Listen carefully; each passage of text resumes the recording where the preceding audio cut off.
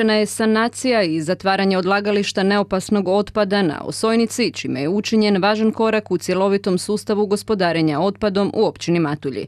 Monitoring i održavanje sanitarnog odlagališta potrejaće 30 godina. Odlagalište Osojnica bilo je u funkciji više od 50 godina i procjenjuje se da je u tom periodu odloženo više od 475 tisuća kubnih metara otpada s područja općina Matulji, Lovran i Mošenička Draga te grada Opatije. Mislim da sada imamo tu uh, u općini Matulji i na Liburni cjeloviti sustav gospodarenja otpadom. Više nema nazad ono što bi rekli. Znači Marišina je znači, cijeli ovaj otpad koji se do 2018. ovdje ovaj, odlagao, sada se odlaže na Marišćinu i mi smo jedni od rijetkih koji su njihova odlagališta otpadom uh, sanirali i do kraja zatvorili. Radovi na sanaciji odlagališta započeli su prije dvije i pol godine. Na projektu je radilo 30 radnika, a izazova je bilo puno. Otkrivena je i jama duboka 21 metar i izgrađen impresivan i jedan od najvećih gabionskih zidova. Dužina je 333 metra, visina je 18 e, metara.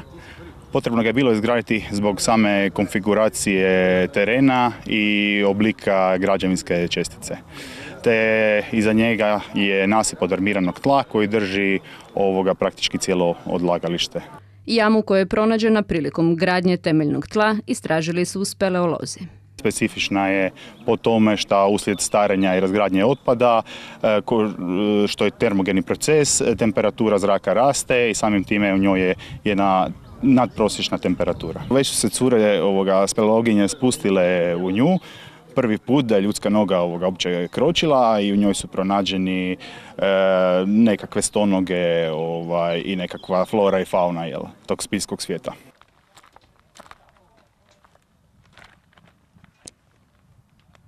Tako da smo sukladno rješenju ministarstva morali provesti mjere osiguranja ovog speleološkog objekta. Pustili smo ovaj otvor kako bi se omogućila nekakva daljna buduća istraživanja s obzirom na specifičnosti ovog objekta jer ima mnogo višu temperaturu, odnosno posebne mikroklimatske uvjete u odnosu na ostale speleološke objekte u ovom kraju upravo iz razloga što je utjecaj raspadanja otpada uz koje se ova jama nalazi. Ukupna vrijednost projekta sanacije i zatvaranja odlagališta koji se prostire na 2,4 hektara iznosi više od 44 milijuna kuna. Bili smo vrlo uspješni u povlačenju e, sredstava financiranja, tako da smo iz kohezijskog fonda Europske unije dobili 30 milijuna kuna, od Fonda za zaštitu okoliša i energetsku učinkovitost dodatnih 3,5 milijuna kuna, te od Ministarstva regionalnog razvoja dodatnih 176 tisuća. Sanacijom je regenerirano gotovo 3 hektara zemljišta. Tako da su spriječeni svi negativni, daljni negativni utjecaje na okoliš i na prirodne resurse. Ovo područje je sad ograđeno i zaštićeno. Dužni smo prema rješenju Ministarstva zaštite okoliša pratiti stanje u prostoru sljedećih 30 godina. Tako da ovo područje kako je, bit će tako uz redovno održavanje košnju čišćenje sljedećih 30 godina. Uspostava sustava gospodarenja otpadom složen je proces koji uz adekvatnu infrastrukturu i mijenjanje dosadašnjih potrošačkih navika zahtjeva i sanaciju i zatvaranje postojećih odlagališta otpada koji su godinama bili deponi smeća. Upravo je zato jedan od prioriteta fonda i Ministarstva gospodarstva i održivog razvoja bio sanirati odlagališta otpada te ih postepeno prema utvrđenoj dinamici i zatvarati. E, do sada je iz operativnih programa EU fondova dodijeljeno već oko pola milijarde e, kuna za sanaciju i zatvaranje odlagališta. E, iz toga je sanirano i zatvorena 41 odlagališta, 41 odlagalište, a u postupku sanacije njih još tri. Općina Matulje ostvarila je značajne rezultate u razvoju cjelovitog sustava gospodarenja otpadom. Na odvajanje otpada već su se navikli stanovnici koji nekoliko godina kućni otpad odvajaju u dva spremnika, a sve ostalo odvoze u reciklažno dvorište u Jurdanima.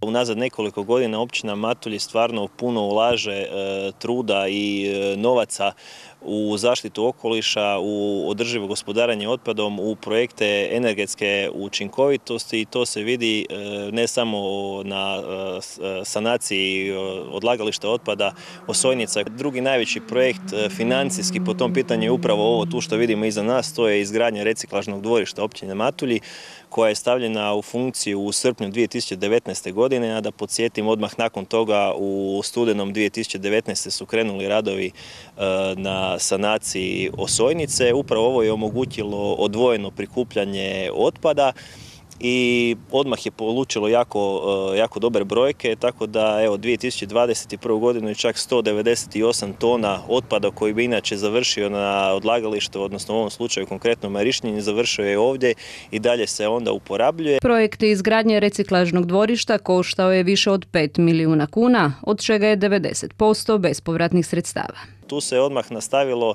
e, sa, e, sa daljnjim e, provedbama programa, tako da se nabavilo preko 4130 kanti za reciklabilno odvajanje otpada koje su podijeljene besplatno svim korisnicima. To je također projekt koji je koštao gotovo 800 tisuća kuna i gdje smo također povukli 85% bespovratnih sredstava i već na samom tu se već vidjelo da su to ljudi dosta dobro receptirali jer su prihvatili te nove kante, koliko god je to za nekakvu e, ljudsku komociju ovaj, malo kompliciranije, ali naravno svaka promjena čini svoje, ali mislim u konačnici za e, nekakvu zaštitu okoliša mislim da je to jedini ispravni put. Prethodni sustav gospodarenja otpadom predugo je trajao i nije mario za ekološke učinke.